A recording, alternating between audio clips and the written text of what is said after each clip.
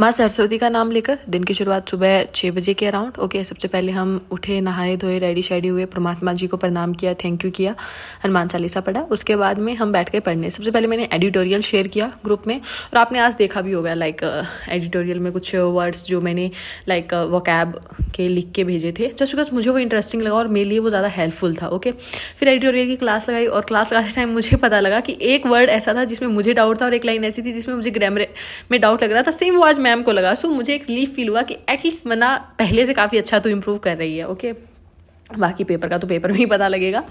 उसके बाद में हमने एक क्विज़ लगाया था इंग्लिश का ही था क्विज था वो प्री लेवल का था। जस्ट बिकॉज़ आर का जो मॉक लगाते हैं उसमें इंग्लिश का क्विज नहीं होता तो वो सेपरेट से लगाना पड़ता है।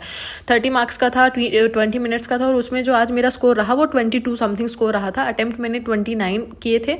आ, नहीं थर्टी आउट ऑफ़ थर्टी किए थे। एक लास्ट टाइम अटैम्प्ट किया था वो गलत हो गया मेरा ठीक है? तो छः क्वेश्चन गलत हो गए थे उसके अकॉर्डिंग बना लो आप जितना मेरे मार्क्स बन रहे हैं। ट्वेंटी टू समथिंग मार्क्स बन रहे हैं। ये बने थे मेरे।